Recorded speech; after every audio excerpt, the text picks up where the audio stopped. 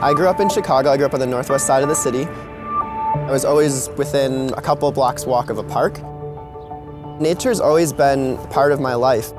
If I need to recharge, I go for a hike, I go camping, I go sit in front of the lake. It's something that I do for fun. It's part of my work, but it's also really important to me as a person. I work with volunteers across the Chicagoland area. We have volunteers to help with stewardship, to do ecological monitoring. They help with restoration. They help immensely with community outreach. And they also help us collect valuable data about what's going on in our natural areas. Looks good, guys.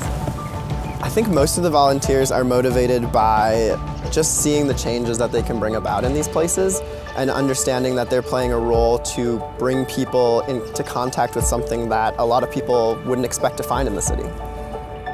We're building on investment in these spaces.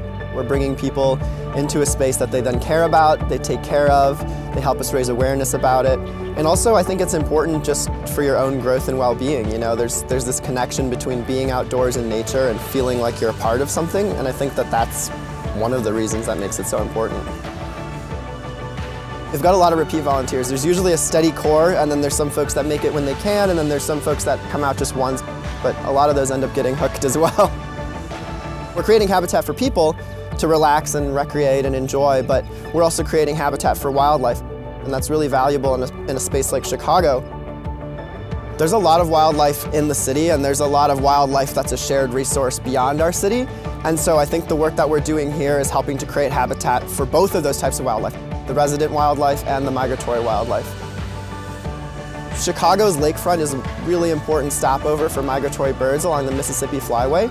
And so the habitat that we create, especially along the lakefront and in other parts of the city, is providing fuel for birds to continue their journey before they hop across the Great Lakes.